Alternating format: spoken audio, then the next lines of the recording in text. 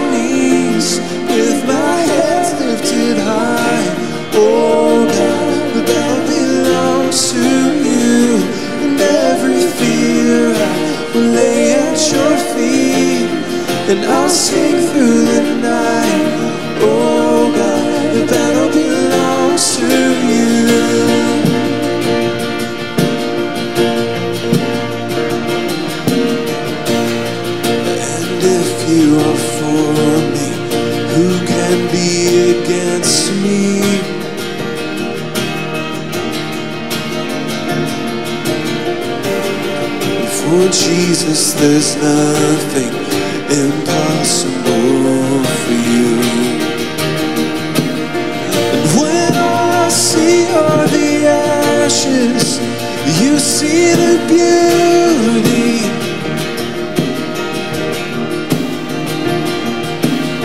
And when all I see is your cross, God, you see the empty tomb. And so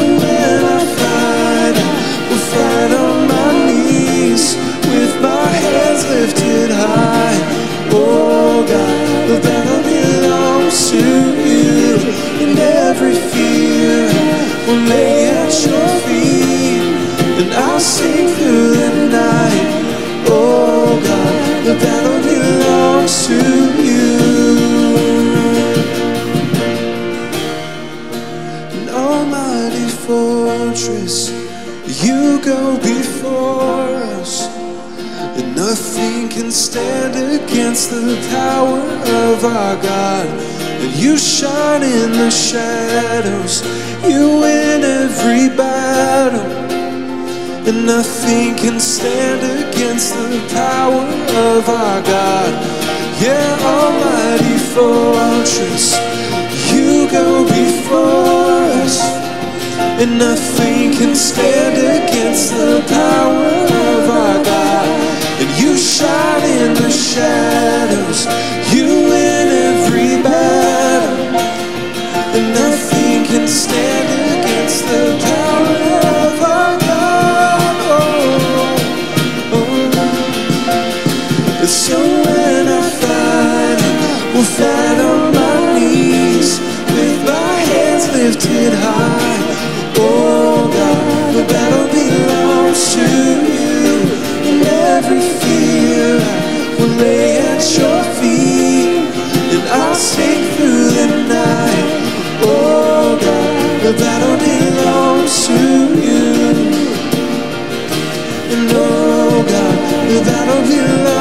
To you. Oh God, to you.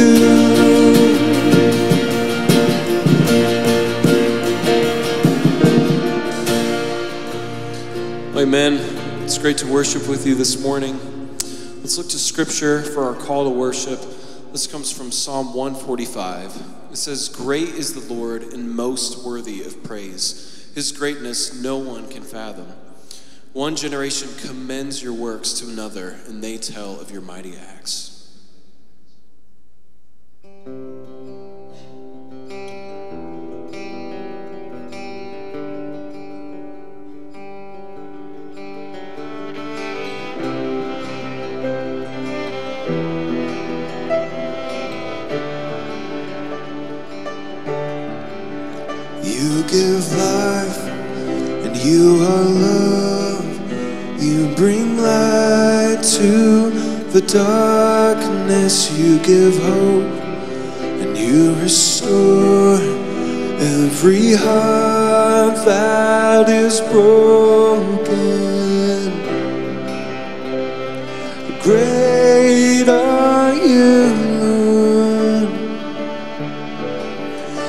It's your breath in our lungs. So we pour out our praise. We pour out our praise. It's your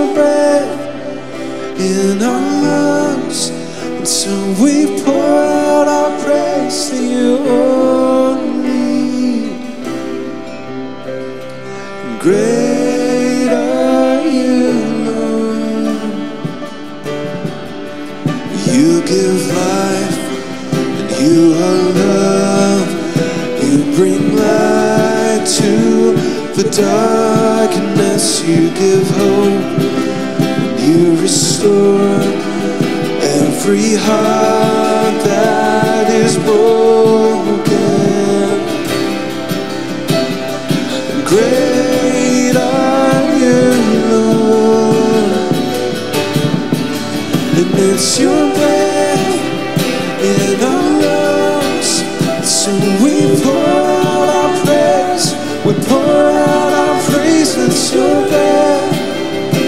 the numbers so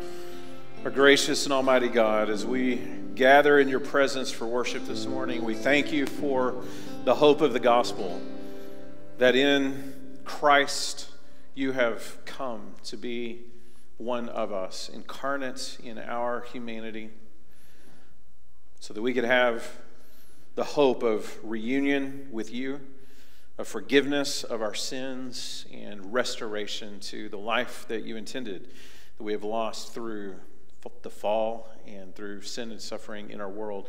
We thank you that you are the God who delivers us, that you are a Savior, that you are the God who, as our Father, welcomes us as your children, as a warrior, the God who fights our battles.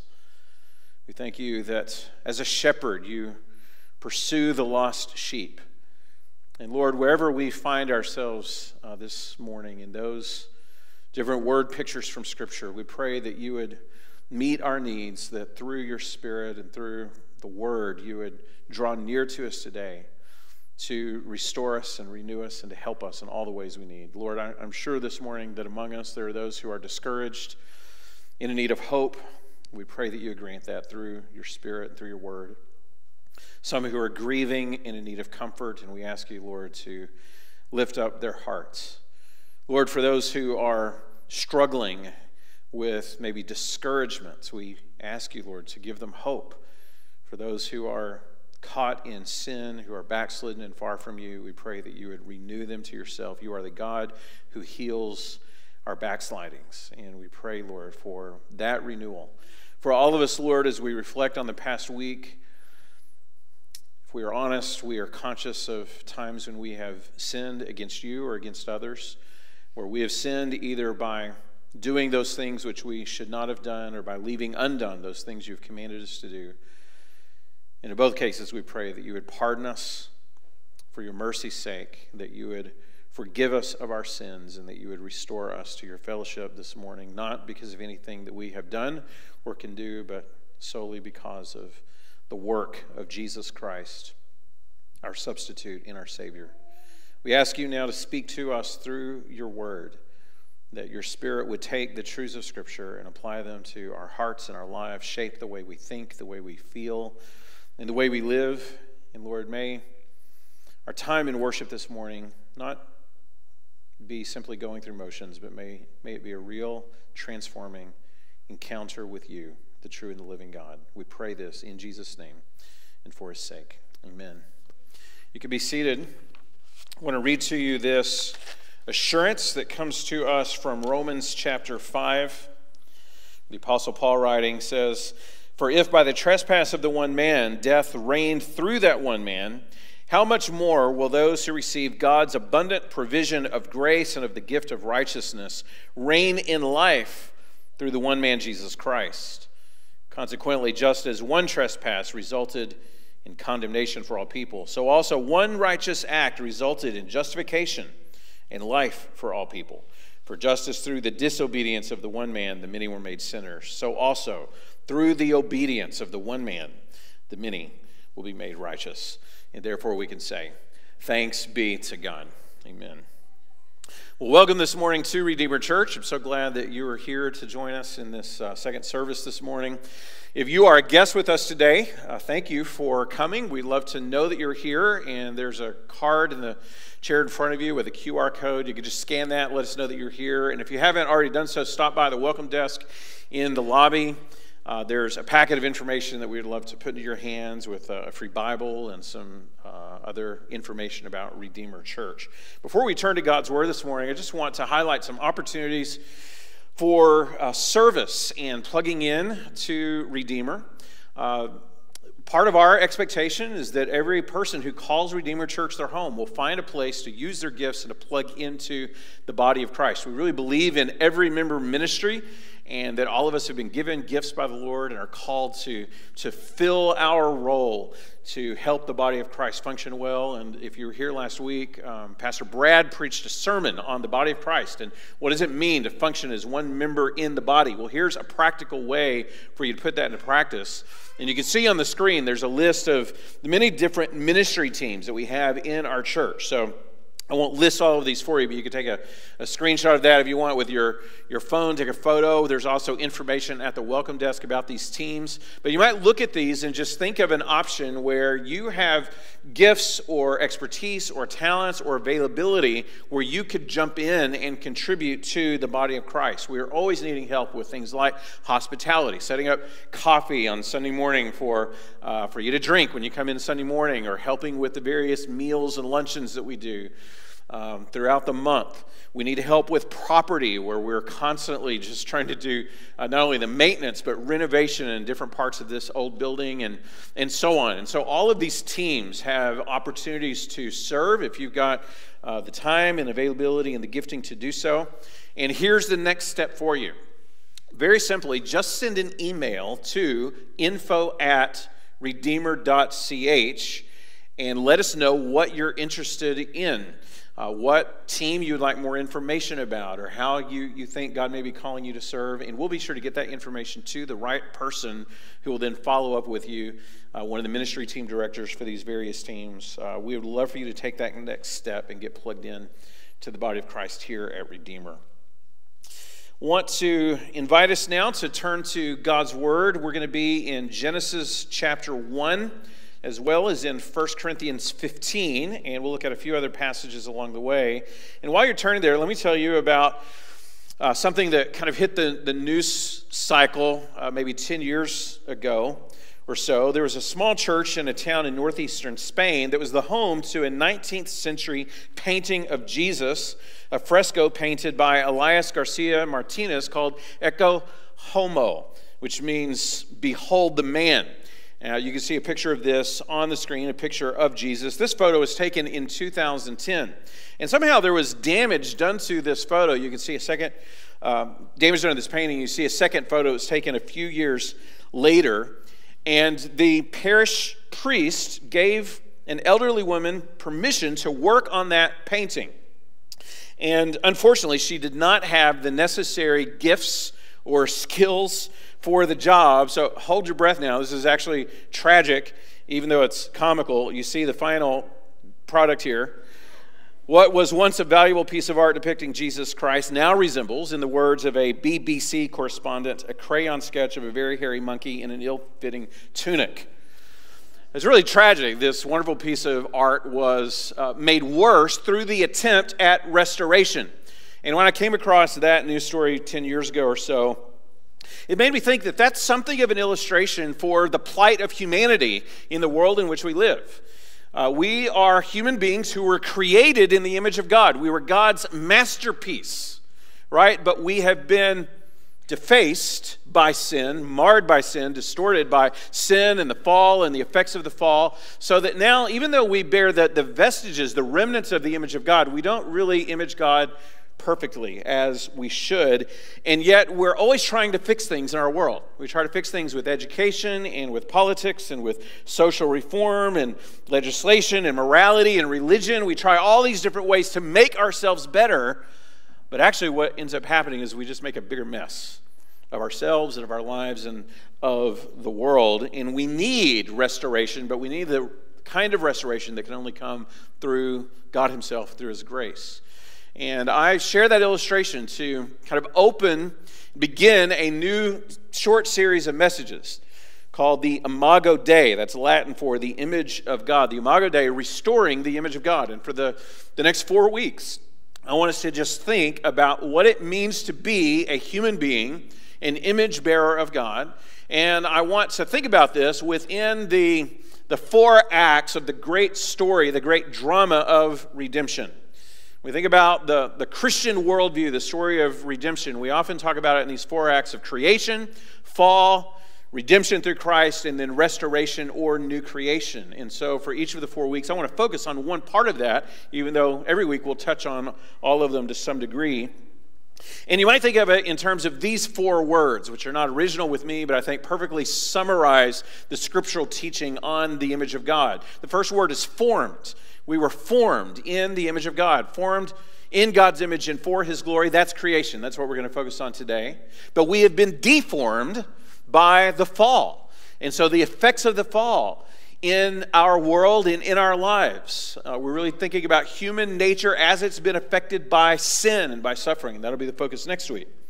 But we are also being transformed. So that's the third word formed, deformed, transformed. And we are transformed through the Son of God and by the Spirit of God as God, in His grace, intervenes in our lives to remake us and to restore the image of God in us. And we'll talk about that in the third week. And then finally, the scriptures tell us that we are predestined to be conformed to the image of Christ. And we think about our great hope, the great hope of redemption and of glorification and of finally being perfected and made like Christ in every way. That will be the focus in our final week of this series. So, this is Actually, more of a thematic series or topical series. Most of the time, we're working through books of the Bible together.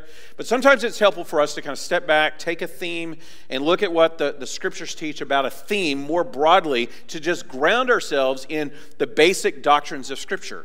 And really, what we're looking at here is anthropology, the doctrine of humanity, and how God has created us in his image and what he intends for us as human beings, as his image bearers in the world. And this morning, we're going to ground this first message in two passages Genesis chapter 1, verses 26 through uh, part of 28, and then verse 31, and then also 1 Corinthians chapter 15, verses 45 through 49. So let me begin by reading those two passages to us. First of all, Genesis chapter 1 beginning in verse 26. And uh, for this message, I'm using the NIV.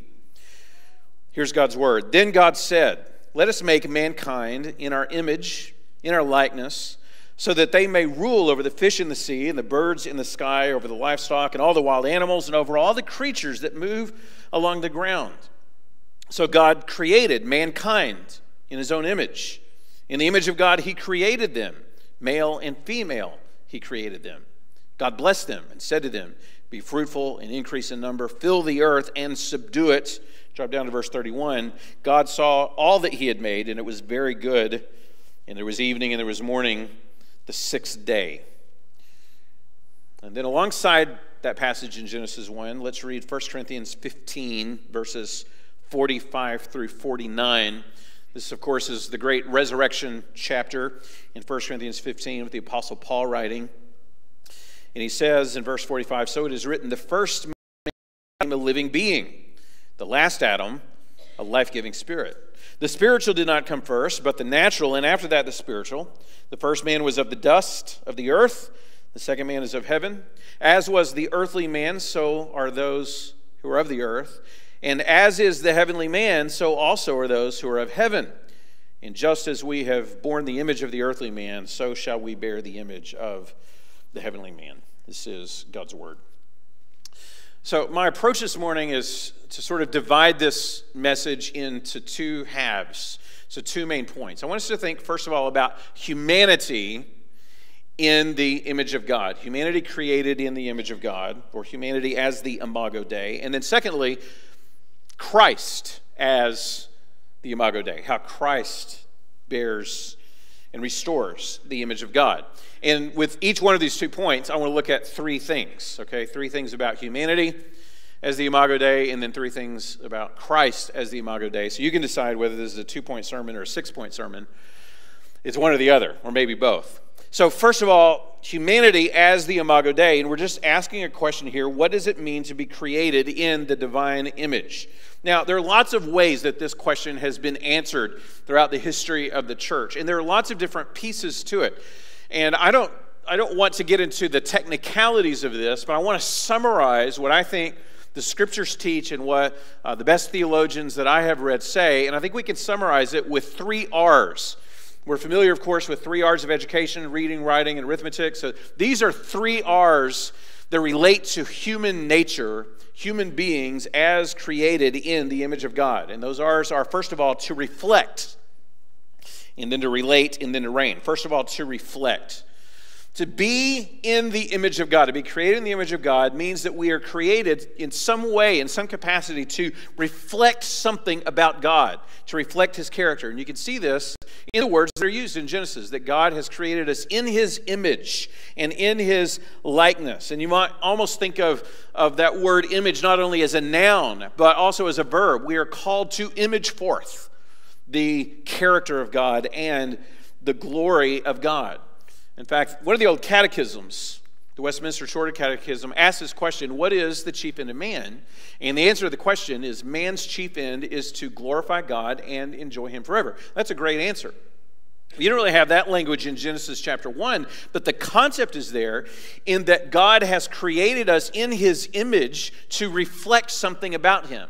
We are to reflect his character. We are to reflect his glory. This also has to do with those basic structural parts of human nature that are constituted so as to reflect something distinct and unique about God. There's something unique about human beings that separates them from the rest of animal creation. We have self awareness, we have the ability to make choices and make decisions. We have volition. We have creativity. We have a unique ability for relationship and communication. We have conscience and moral awareness. These are things that separate us, that make us unique as the image bearers of God. And you'll note if you read through Genesis chapter 1 that every part of creation, after everything that God creates, he says it is good. But it's after he creates human beings that he says it is very good because there's something so unique about being a human being made in the image of God. And then when you look in the New Testament, you see how this language of the image of God is used in the New Testament. You see this as well, that the language is especially used of moral categories that reflect something about the character of God. So Ephesians chapter 4 verse 24 tells us that we've been taught to put on the new self created to be like God in righteousness and true holiness the righteousness of God, the holiness of God, the, the distinct character of God. That's part of his image, and it's part of what we are called to reflect and what we were originally intended to reflect in creation. So, this is first. To be an image bearer of God is to reflect something about God's nature, about God's character. But it's not only that, we are also called to relate. To be an image bearer of God is to be created in relationship in for relationship with God and others. And we see this in several ways in the passage. We see not only that God creates the human beings, but he speaks to them. As soon as he creates, he gives them a command. And this shows that God is in a communicative, dialogical relationship with human beings where human beings are dependent on the Word of God. They are meant to respond to God and to follow His guidance and His direction in their lives. And we are made for this. We are made to be in communion with God, in relationship with God.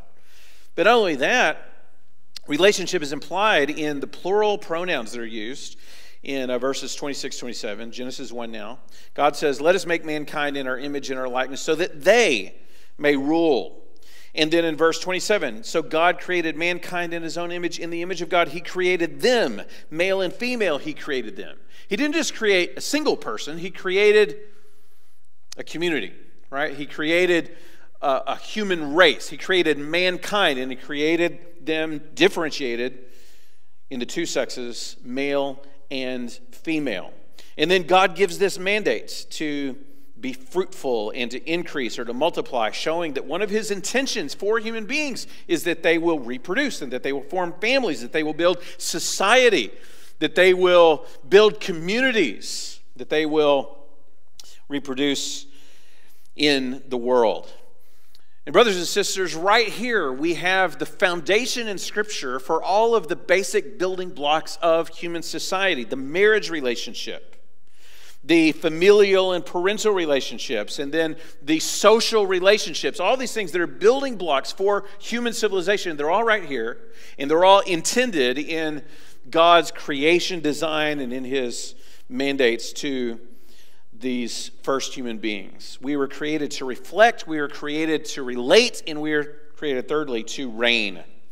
And you see this God's purpose that human beings should rule, stated in verse 26, and in his command to subdue the earth in verse 28, or to exercise dominion.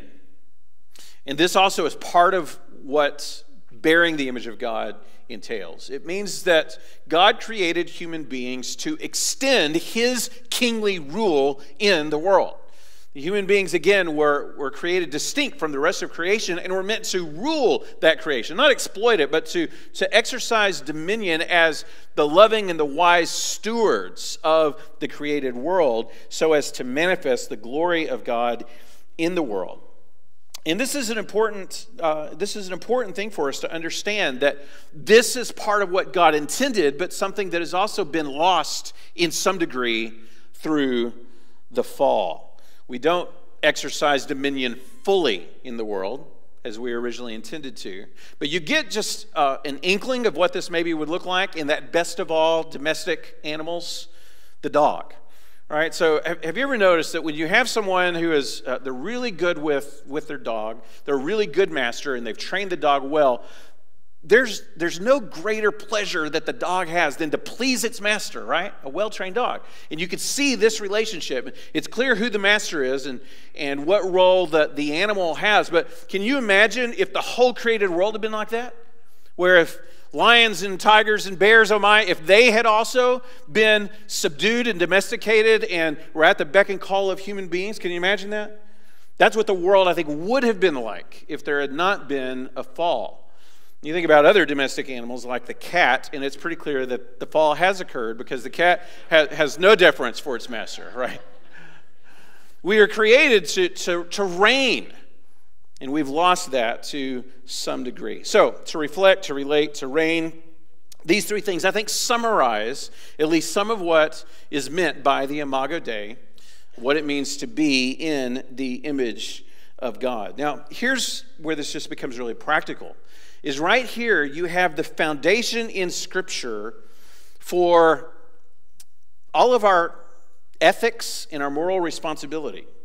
Here is the basis of human worth and dignity, of human rights, of moral responsibility. These are things that we care about. These are things that are talked about a lot in the world. But right here, you've got the biblical foundation for these things. So, human dignity and worth.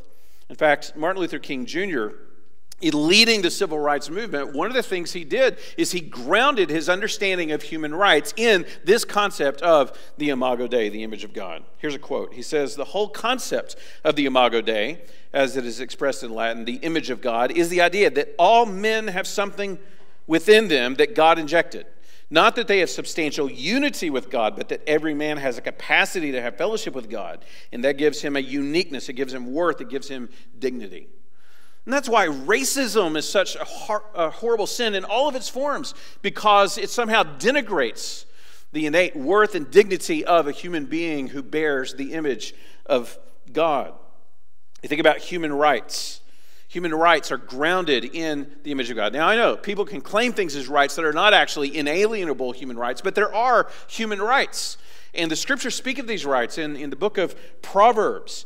And John Stott has done a wonderful job of this, grounding human rights in Scripture in his book, Issues Facing Christians Today. And he shows that there are rights and freedoms of conscience and of speech and the basic necessities of life and the right to life itself. And it's all grounded in the image of God. Here's the basis for the sanctity of human life. This is why innocent life should never be taken. This is why we should, should never treat people with malice or with contempt.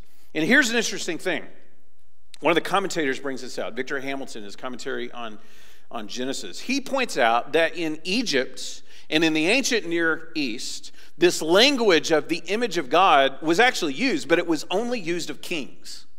Only the royalty were called images of God. But in Genesis, in Scripture, it's not just the kings, it's every human being. It's the man and the woman. It's male and female as God created them. It's all human beings who bear the image of God. And that language, Hamilton says, would never have been used of a canal digger or a mason who worked on a ziggurat, a carpenter, uh, someone who, who did ordinary work. It would never have been used of them. But in Scripture, the ordinary human being, not just the royalty, but the everyday person, is also an image bearer of God. The Imago Dei is also the basis for moral responsibility in the world. And you can see this in a couple of places. In Genesis chapter 9, verse 6, this is after the flood. God gives instruction for the rebuilding of human civilization. And he says, Whoever sheds blood, human blood, by human shall their blood be shed, for in the image of God has God made mankind. And you see right there that one of the reasons why life is so precious and why the senseless taking of human life is so, so reprehensible and heinous in the sight of God is because it is an assault on an image bearer of God. To take an innocent human life is to do sacrilege to deface the image of God. This is why we oppose abortion. This is why we oppose euthanasia. This is why we oppose anything like genocide or ethnic cleansing or any, anything that reckless treats with reckless uh, disregard the lives of human beings. But, brothers and sisters, this reaches even into our interpersonal behavior and relationships with one another and with every other person that we come in contact with and how we should treat them. Listen to James, James chapter 3, verses 9 and 10. He says, With the tongue we praise our Lord and Father. With it we curse human beings who've been made in God's likeness. Out of the same mouth come praise and cursing, my brothers and sisters. This should not be. You hear what he's saying? He's saying even to curse someone who is made in the image of God is a terrible sin because, again, it is an assault on an image bearer someone who has unique dignity and worth because created in God's image. And friends, this has deep implications for our lives in the way we treat one another. And you can extend this to, to, thinking not only about how we treat one another in our families and how we treat one another in church, but also how we treat others in the world. And I might even say, especially people who disagree with us. It means that we should never be cruel or hateful in our speech. It means that we should always be respectful. Scripture says we should always treat everyone with courtesy. We should always bless and not curse. We should avoid all scornful and mocking speech. It's why Christians should never use racial slurs or tell ethnic jokes or make fun of people because of economic status or physical features or intellectual capacities, because every single person you meet is made in the image of God. Now, that'll change the way you treat people who mistreat you. It'll change the way you treat people who disagree with you or even those who insult you. There, there's a mandate here that we are to treat others as the image bearers of God. Now, here's the problem a problem that we'll explore more fully next week. The problem is that as human beings who were made in the image of God and created for the glory of God, we have fallen short of the glory of God. So that these masterpieces that God created, these masterpieces who were meant to, to show forth the character and the goodness of God, have now been defaced by sin, distorted, disfigured, marred, deformed by sin. In Martin Luther King Jr.'s words, God's image has been terribly scarred by our sin. We have failed to extend the reign of God, and instead of building the kingdom of God, we build our own little kingdoms.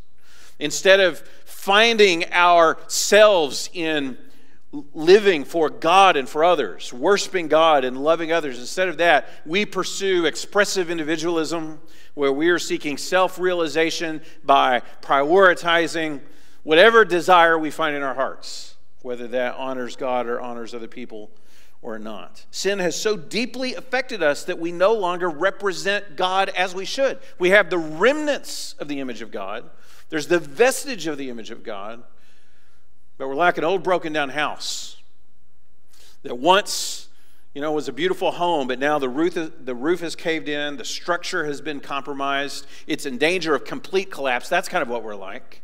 Our relationship with God has been broken off. Scripture says that we are dead in our trespasses and sins, that we are alienated from the life of God. We've lost that relationship. And we see the psychological breakdown and the relational breakdown in the problems we have in society and in family relationships and so on. This is, this is why there's so, so many problems in the world relationally and psychologically. It's because of sin in the world. And so we have to ask the question how then do we get restored? How does this house get renovated and built up so that it's, it's a fit habitation for God once again? How does the painting get restored so it once again is a portrait of the good and the beautiful God? And the answer to that question is there's another man. There's not only the first man, Adam, not just the first human beings, Adam and Eve, but there is a second Adam. There is a last Adam, the scripture says. And that leads us to the second point, the second half here Christ as the Imago Dei. How does Jesus fulfill the Imago Dei? And I want to give you three things.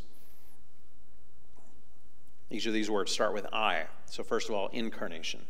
Incarnation.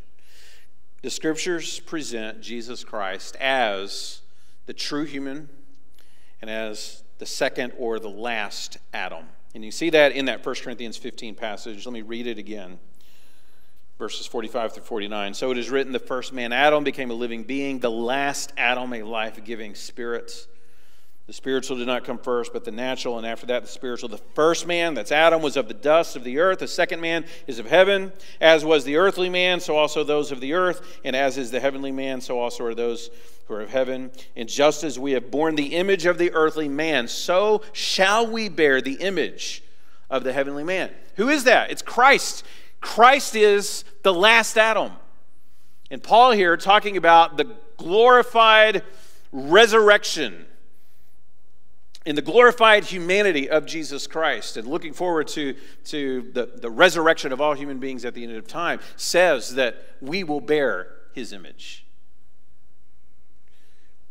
And this is characteristic of the New Testament, where Jesus is called the one who's in the image of God. 2 Corinthians chapter 4 verse 4 speaks of the gospel that displays the glory of Christ who is the image of God.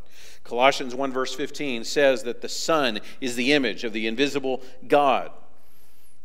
And then you think about all the passages that talk about us being conformed to the image of Christ. This is what we are predestined for, Romans 8:29, to be conformed to the image of the son. And it underscores for us the centrality of the incarnation of Jesus Christ.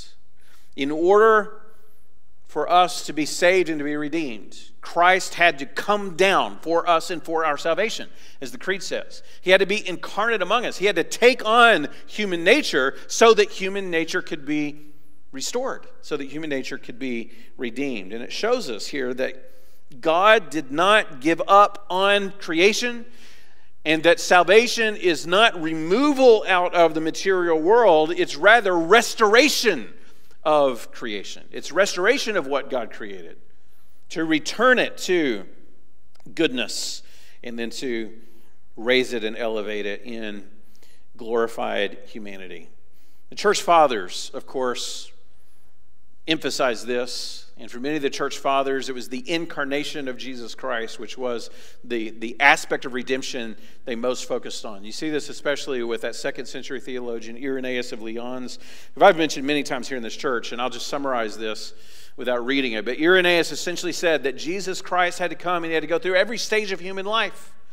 As a, as a baby, as a child, as a man, he had to live every stage of human life, live it perfectly, so that he could defeat death and so that he could vivify or bring life to human beings. This was Irenaeus' doctrine of recapitulation, and it was central to his understanding of salvation. There's a great but often forgotten verse from Charles Wesley's Christmas carol, Hark the Herald Angels Sing. It goes like this Come, desire of nations, come, fix in us thy humble home. Rise, the woman's conquering seed, bruise in us the serpent's head. Reference to Genesis 3. Adam's likeness now efface, stamp thine image in its place. Second Adam from above, reinstate us in thy love. There it is. That's Paul's theology. Christ, as the second Adam, the last Adam, is the true human being, and he is the head of a new humanity, a new creation, so that our humanity gets restored and we get reinstated into God's family through our union with Jesus Christ. So, incarnation, that's first. Secondly, imitation. Imitation. Not only is Christ the true human being, but being so, he is also the model or the pattern that we are called to follow. This is the imitation of Jesus Christ. Listen to this Christian psychologist, Professor Eric Johnson. He says, Because of Christ's role as the archetypal human, in a multitude of ways, believers discover their humanity and their individual calling by learning from Him. Matthew 11, 29. His story is the story of humanity living in perfect face to face communion with God. So, His story is the revelation of our story, both as the gift of perfection that God gives believers in Christ and as the goal of our lives. He's the gift of perfection and He is the goal of our lives. Think about that for just a minute. Christ is the goal. Christ is the pattern. Christ is the model. If you want to know what it looks like to be a true human being, how to live in your humanity in the fullest possible way as God intended, you see it exemplified in Jesus. And that's why scriptures call us to imitate him, to follow him, to be like him. Now, here's a good devotional exercise for you this week. If you want a practical take home application, here's something you can do in your devotional life this week, spend at least one time in your time alone with the Lord, spend at least one time thinking about, meditating on the character of Jesus Christ, and then doing some self examination, testing yourself against his character. You could do this, for example, by looking at the fruit of the Spirit, Galatians 5 22, 23. That's a description of the character of Jesus. This, these nine characteristics described as fruit of the Spirit, that's the way Jesus lived love and joy and peace and so on. You could look at Jesus' fulfillment of the law. He, he said, I came not to destroy the law, but to fulfill it. And he describes what the fulfillment of the law looks like in the Sermon on the Mount. Read that and see how Jesus applied the law to the deepest motivations of the heart. And test yourself against that. Or you could look at his uh, look at Paul's description of love in 1 Corinthians 13. Brad talked about this last week. Jesus is the perfect embodiment of love. And if you want to know what a loving human being looks like, you look at Jesus, you look at 1 Corinthians 13, and then test yourself against that. Or you could think about all the different roles that we have in our lives. And how does Jesus perfectly embody that role? Maybe you're married.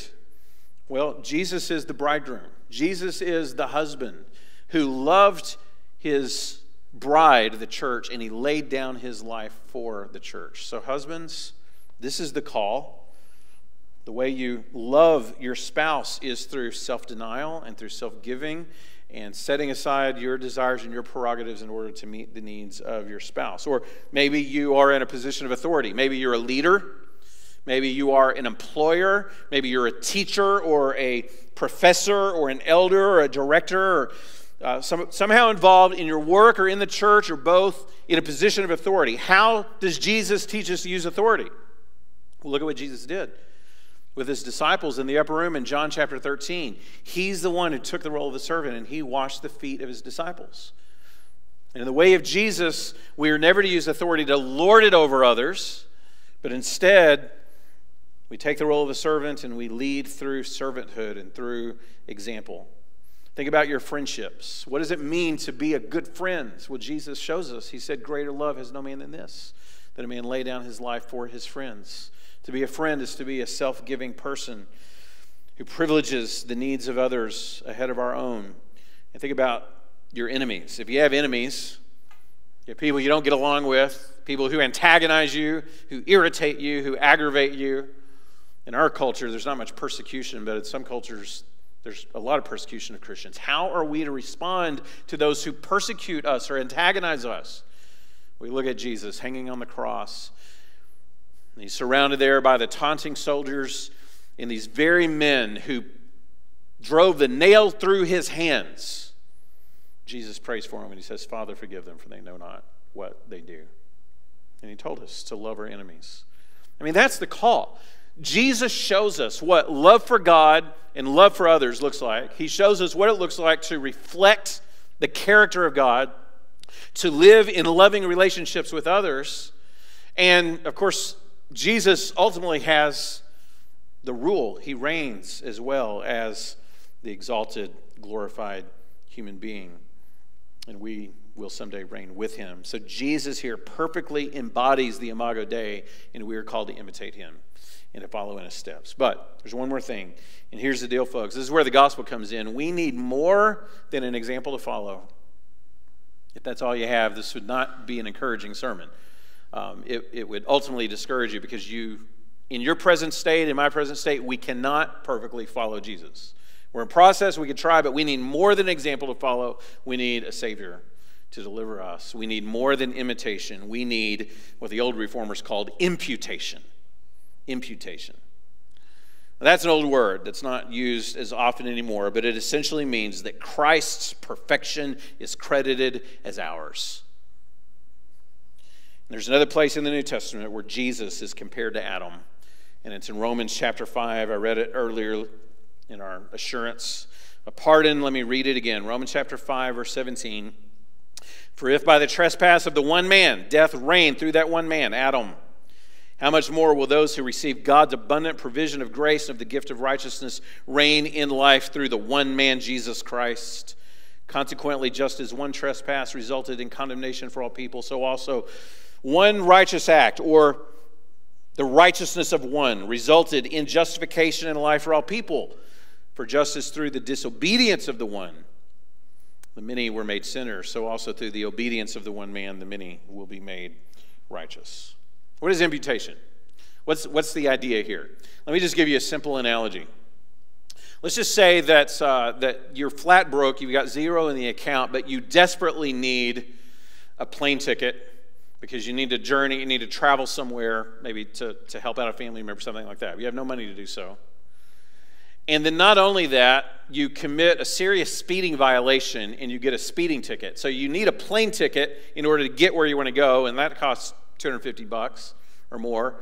And not, but not only that, you also now have a speeding violation, so you've got a, a speeding ticket for 250 bucks.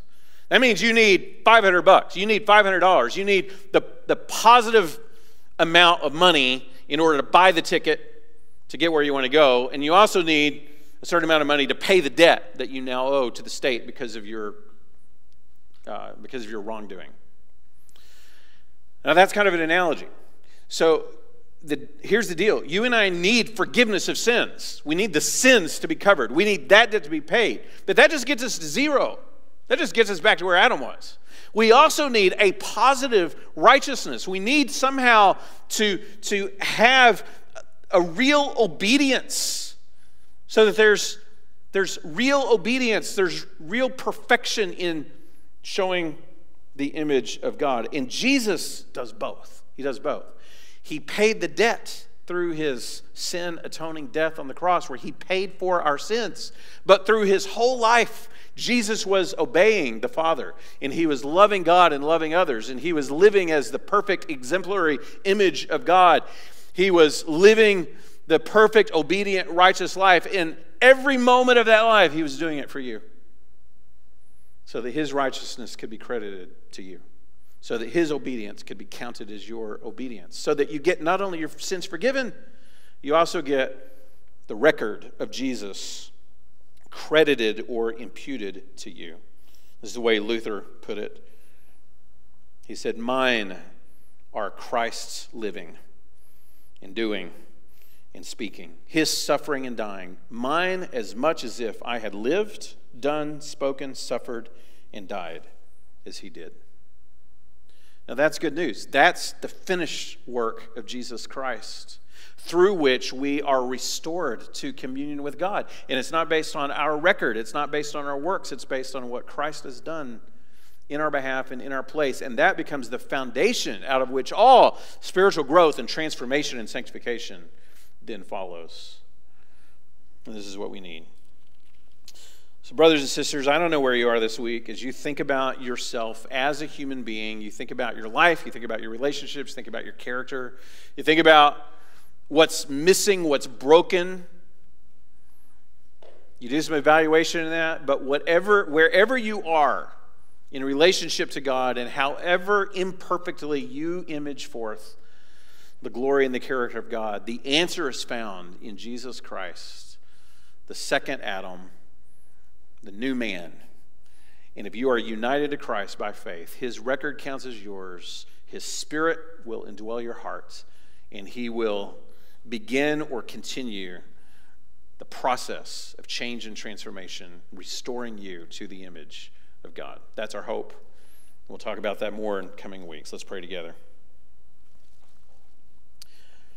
Our God and Father, we thank you this morning for the good news of the gospel that assures us that Christ has completely fulfilled the law. He has fully reflected your glory and your character. He has embodied the image of God in every way that was needed. And we thank you for this good news that his obedience is counted as ours and that Christ now is the head of a new humanity.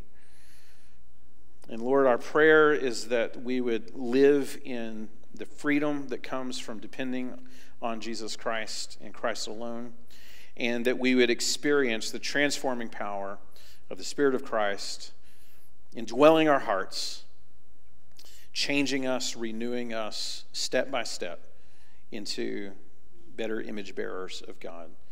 Lord, we pray this week that you would work these things out in our hearts and in our lives and our relationships. As we think about ourselves, as we think about others, as we think about how we treat others and interact with others, as we think about our character and how we reflect or fail to reflect your character in certain ways.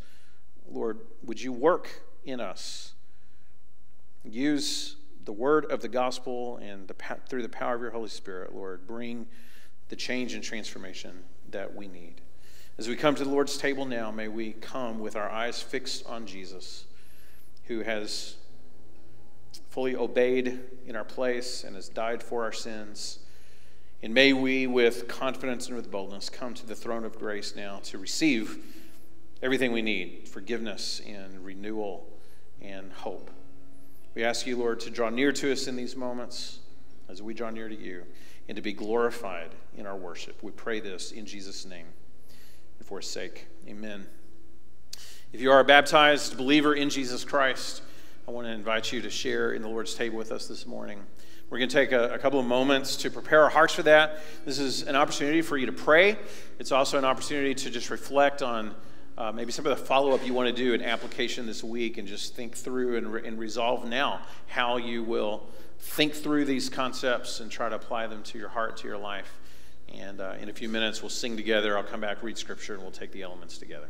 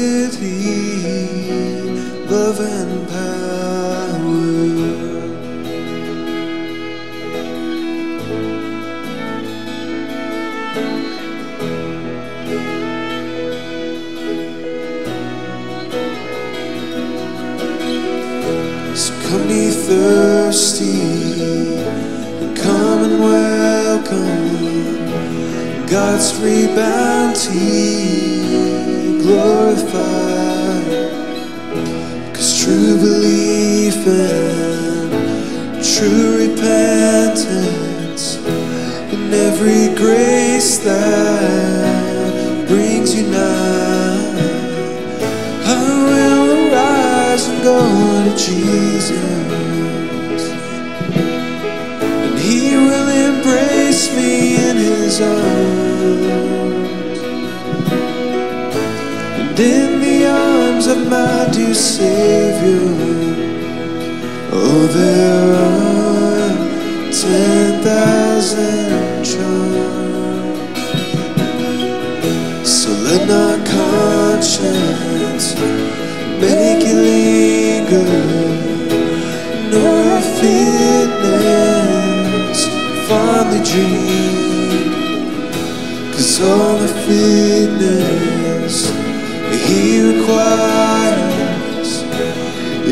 of. I will arise and go to Jesus. And he will embrace me in his arms.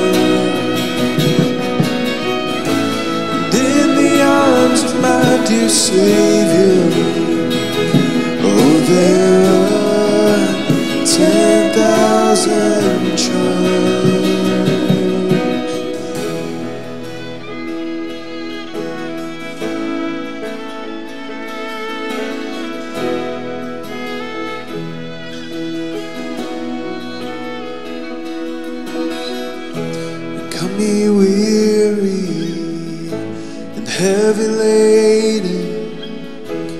lost and ruined by the fall. Cause if you tarry until you're better, you will never come at all. I will arise and go to Jesus.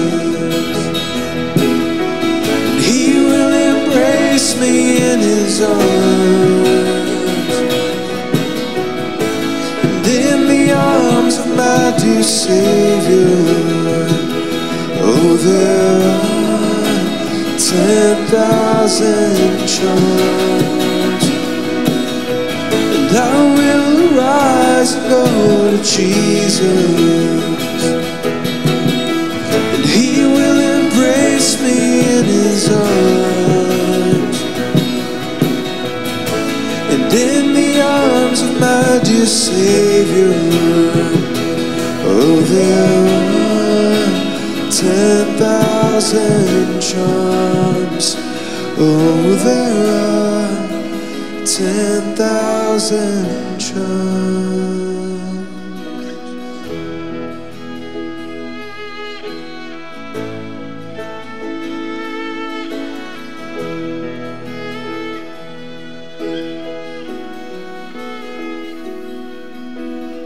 Whatever your need this morning, as you come to the Lord's table and as you come to Jesus Christ, whether it's a need for forgiveness and assurance of God's pardon, or it's a need for renewal in your heart and in your life, maybe it's a need for comfort that comes only through the gospel, whatever that need is, the need itself is an invitation to come to Jesus. All the fitness he requires is to feel your need of Him. And it's in the feeling of that need that we come to Jesus as we come to the Lord's table, trusting that just as the elements nourish our physical bodies, so Jesus Christ will meet our spiritual needs by His grace.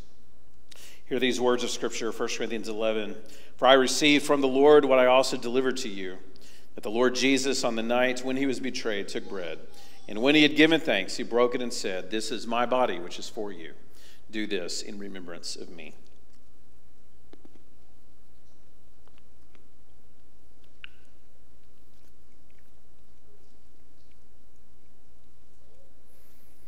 In the same way, also, he took the cup after supper, saying, This cup is the new covenant in my blood. Do this as often as you drink it in remembrance of me.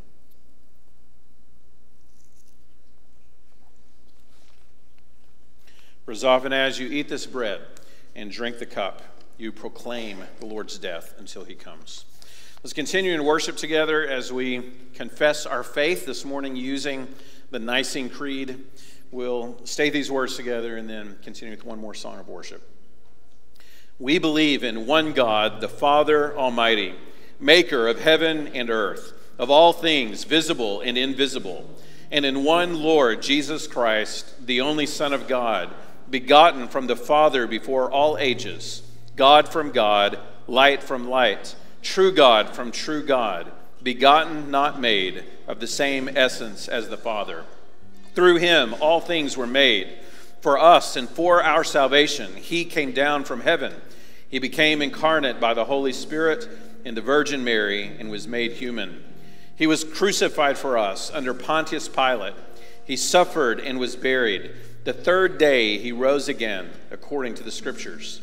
He ascended to heaven and is seated at the right hand of the Father. He will come again with glory to judge the living and the dead. His kingdom will never end. And we believe in the Holy Spirit, the Lord, the giver of life. He proceeds from the Father and the Son, and with the Father and the Son is worshiped and glorified. He spoke through the prophets. We believe in one holy Catholic and apostolic church. We affirm one baptism for the forgiveness of sins. We look forward to the resurrection of the dead and to life in the world to come. Amen.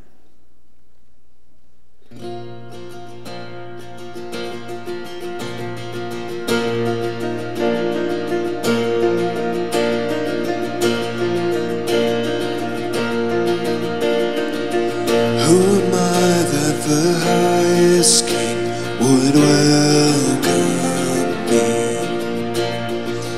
I was lost, but he brought me in. Oh, his love for me. Oh, his love for me.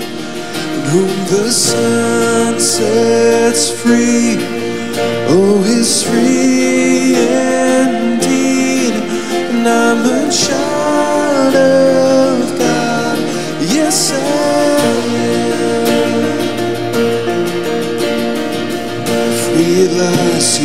Has me, and His grace runs deep.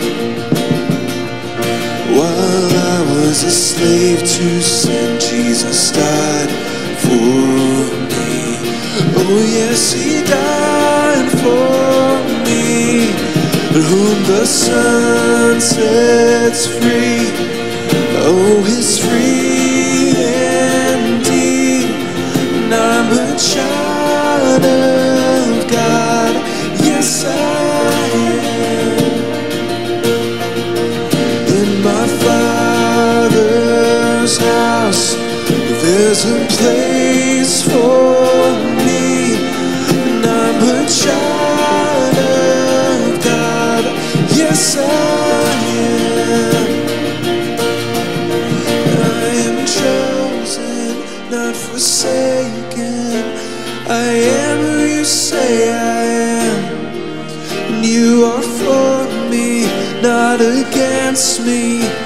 I am who you say I am. And I am chosen, not forsaken. I am who you say I am. And you are for me, not against me. I am who you say I am. Oh, I am who you say I am. The Son sets free, oh, is free indeed. And I'm a child of God. Yes, I am. In my Father's house, there's a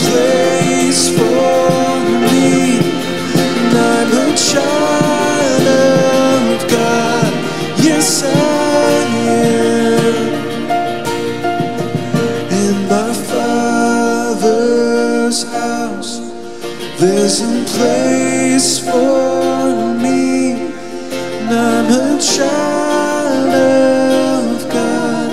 Yes, I am.